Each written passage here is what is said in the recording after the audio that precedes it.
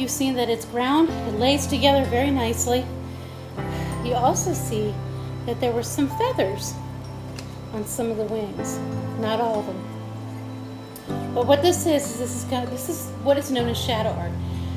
In shadow art, we tape one side, the other side would be clear, nothing here, and you'd see the shadow of the wings come through, the feathers. So all you would see is one piece of glass with shadow of feathers coming from this side. But because this is kind of semi-opaque, it's not really clear, so in order for it to look right from the other side of the window, I have to feather both of them, uh, both both sides.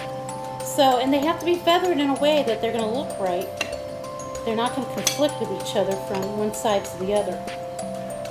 And so all wings have to be done this way. There are 14 wings. There are two tails in this particular um, this particular panel. There are two of these panels. This is the first of it. And so I've got to do all those tails, I got to do all those wings. And then I'm going to have to tape the whole window. And as I tape the whole window, then I got to think about rebar. Rebar is the process of strengthening the window. When you got a window this size, you have to strengthen it. Because over time, if you don't do rebar, this stuff's going to buckle and it's going to come out and it's not going to look pretty.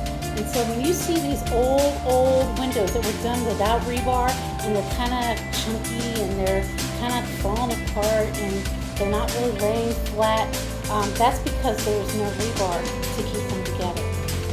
So, and those are, those are the old, old windows. So they're probably, probably a half a century or more old. Anyway, um, we need some rebar for definitely for a window this size and with the little pieces that we have, we don't want them bulging out.